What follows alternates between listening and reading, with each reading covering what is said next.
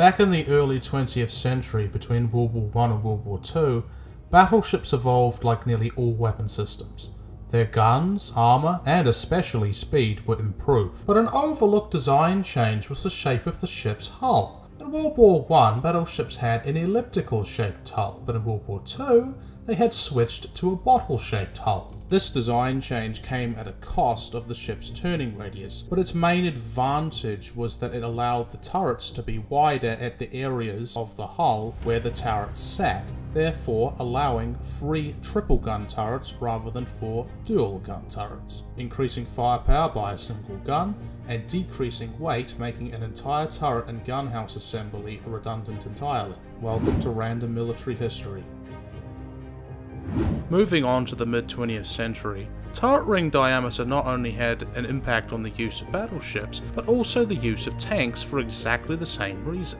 No, not to add two or more guns per turret, but to allow the tank to ergonomically accommodate a larger gun. In fact, this design consideration is one of the most determinant when a surplus tank is to be kept in service or retired. A great example of this was the use after World War II of the M4 Sherman and Panther. Despite the Panther being the larger tank at 45 tons to the Sherman's 30, its turret ring was actually smaller at 1600mm in diameter to the Sherman's 17 1750. Panther served on until 1949 in French service and its gun was never upgraded before the tank was retired.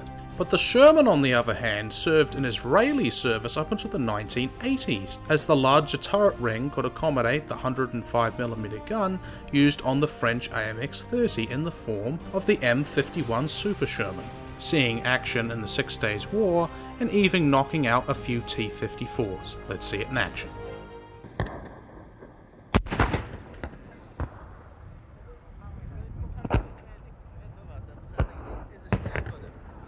Stop.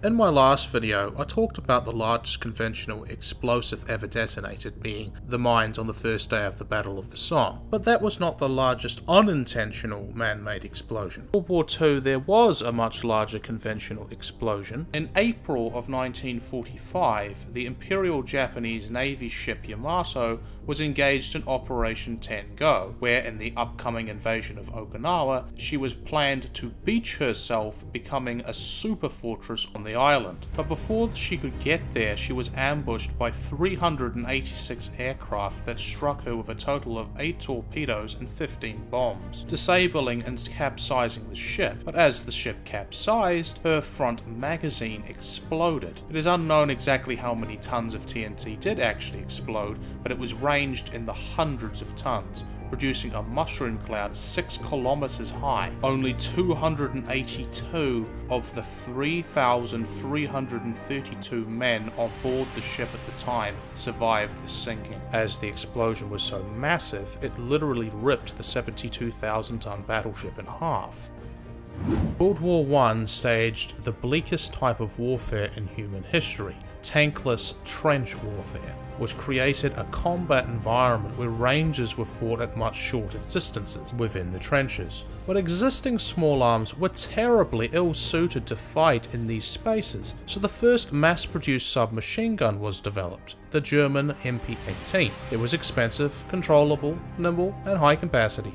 By modern standards, to develop and use such a weapon would be obvious, but despite this, it was the only widely used weapon of its kind in the war at all, and was only fielded in the last year of World War I in 1918, after four years of the glaring problem persisting with the only comparably effective weapon in close quarters combat at the time being the 1897 Winchester shotgun fielded by the United States, demonstrating just how much technology at the time had outpaced the thinking and the tactics of the nations that partook in the war. Let's see it in action.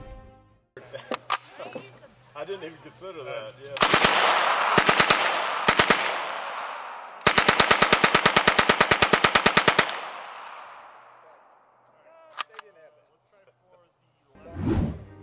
That's it for this video, I hope you enjoyed. Uh, I hope to be releasing videos like this once every week to two weeks, uh, which is a massive improvement over releasing them once every seven months, like I was doing before. Uh, I had a few things busy. anyway, thank you, and goodbye.